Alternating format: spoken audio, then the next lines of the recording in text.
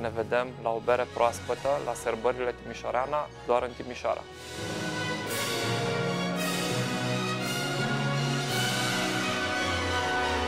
Adică la o vorbă și o bere cu Horia. Vă aștept pe toți!